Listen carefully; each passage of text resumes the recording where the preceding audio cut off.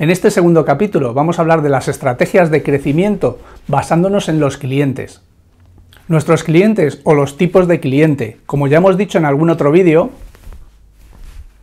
es muy importante que tu empresa, desde la concepción de la idea, sepa perfectamente cuáles son los tipos de clientes con sus características a los que va a aportar mayor valor añadido. Bien, desde el punto de vista de los clientes, la primera estrategia sería la de ganar notoriedad. Está claro, desde el principio de la experiencia del cliente con nuestro servicio o con el producto que nosotros le vamos a proveer, es fundamental que al menos, de momento, nos tendrán que conocer, ¿no?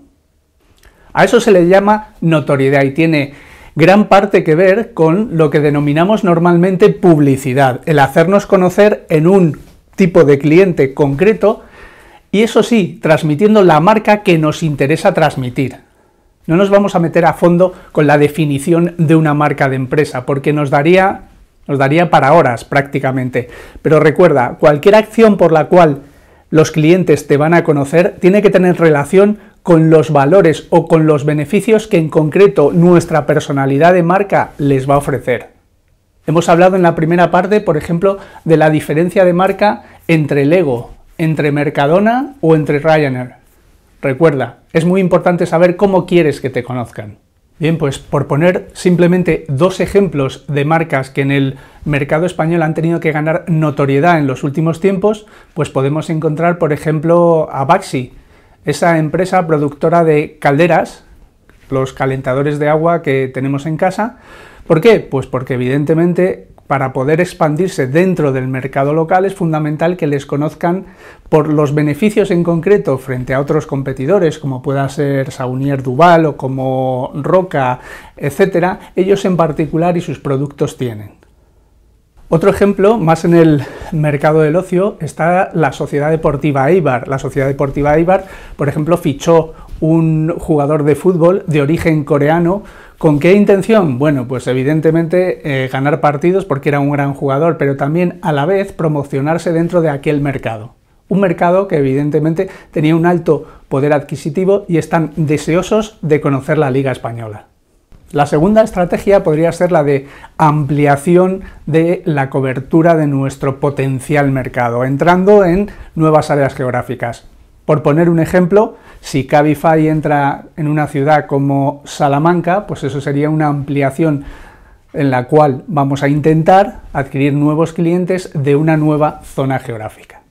Una tercera parte del crecimiento basado en los clientes o tipos de clientes son los usos de los canales de distribución. Este es un tema apasionante que nos daría para horas, para días de discusión, pero nos vamos a basar fundamentalmente en tres, que son los más habituales que vamos a encontrar en nuestro mercado. Los canales significan fundamentalmente utilizar otras marcas, otras empresas, agentes o representantes para apalancar nuestra capacidad de entrar en otros mercados. El primer ejemplo serían los partners. ¿Con un partner que intentamos hacer? Pues que yo venda más, quizá utilizando los clientes que ellos han ido consolidando y también darle entrada a nuestros clientes con productos suyos. Recientemente hemos tenido una alianza en nuestro mercado que ha sido muy notoria por la publicidad que se ha hecho, que es la alianza entre Telefónica y Netflix. Habréis visto posiblemente el anuncio de las Chicas del Cable, en la cual se anunciaba de una manera bastante lúdica esa alianza entre Telefónica y Netflix. La segunda estrategia, hablando de canales, es la de los distribuidores. Hay distintos tipos también de alianza basadas en distribuidores. Yo te voy a poner dos ejemplos hoy. Por ejemplo, la alianza que recientemente ha tenido lugar entre Cofidis y Prosegur. Dos empresas, evidentemente, que trabajan en mercados distintos y sin embargo han encontrado complementariedad en su forma de entrar en el mercado. ¿En qué consiste esa sinergia? Pues por un lado, Prosegur va a conseguir más clientes si sus clientes o nuevos clientes pueden financiar los servicios que Prosegur provee a esos tipos de clientes. Una financiera consolidada en España es Cofidis, con lo cual para realizar esas financiaciones, Prosegur se va a apoyar en Cofidis. Evidentemente, Prosegur es un canal de distribución muy importante de Cofidis.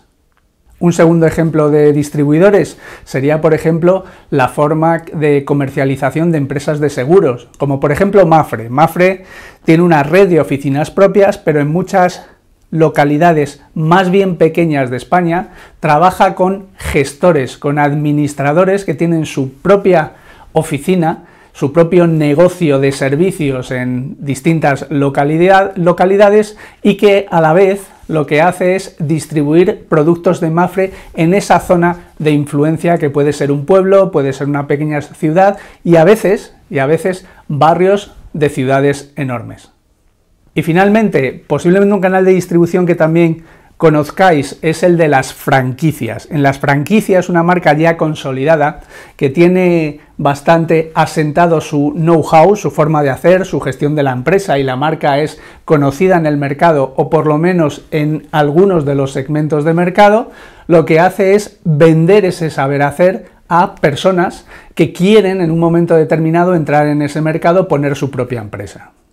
Un ejemplo famosísimo en España sería Telepizza. Telepizza cuenta con sus tiendas en las cuales están directamente dirigidas por la marca, por la empresa Telepizza y muchas otras en las cuales ha llegado a acuerdos con empresarios particulares, privados, a los que vende y ofrece, evidentemente, a cambio de una parte en los ingresos, ese saber hacer de Telepizza, que puede ser integrado con los procesos de trabajo, las máquinas, la marca y todo aquel conocimiento que ha permitido a Telepizza llevar muchos años con un alto nivel de penetración en los diferentes barrios y ciudades españolas. Bueno, con esto vamos a terminar la segunda parte y en general los vídeos dedicados a estrategias de crecimiento de las distintas empresas. En cualquier caso, recuerda, si tienes una duda, una pregunta, una consulta, estaremos encantados de poderte responder en el correo electrónico que también puedes ver en la descripción. Y como siempre, te vamos a dejar aquí un par de vídeos relacionados con los modelos de crecimiento y la gestión de las empresas. Como sabes, aquí nos dedicamos a proveerte vídeos que te van a permitir desarrollar tus habilidades personales y también tus capacidades como manager y como directivo. Hasta pronto.